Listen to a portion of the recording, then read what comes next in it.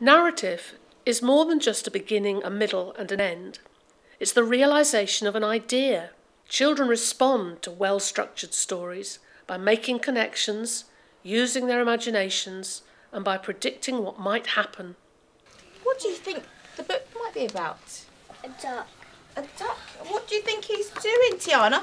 He's digging. He's digging. He's digging his, his shell. He's raking. Could be raking, he's digging, he's got a long, long. could, could be a spade, could be a rake. Why is there a duck it, and it's a farmer? That's a good question. We'll find out in the story, won't we? Very good question, Eva.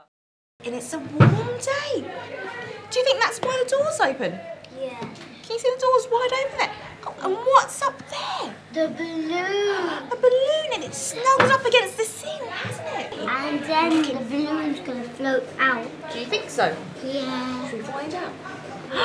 and there are lots of birds. Where's the balloon?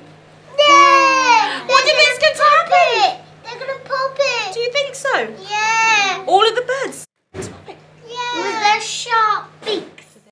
What's he doing there? He's got to He's soaring.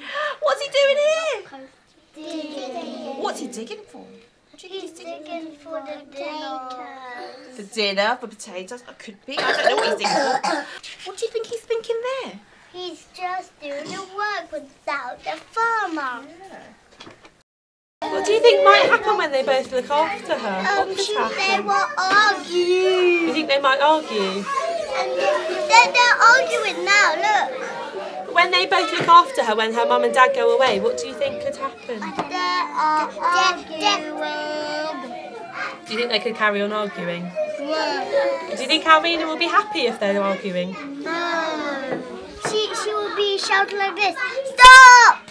I remember as a child poring over my picture books and looking at every little detail, and each detail adds more meaning to the story.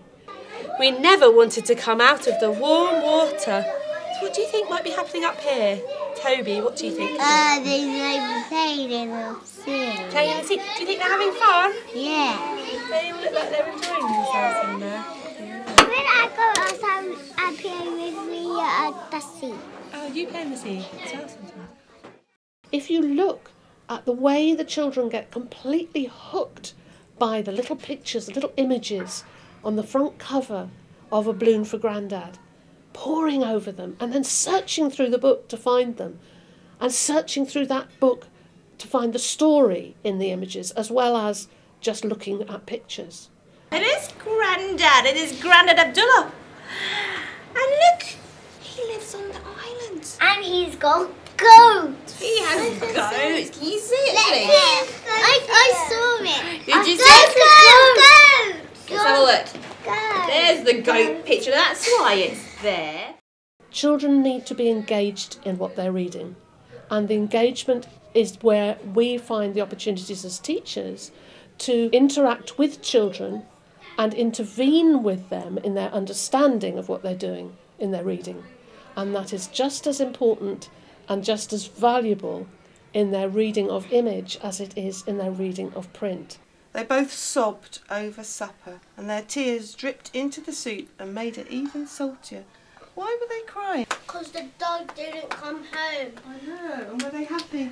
No, they were sad. Very sad. They were crying, they were so sad.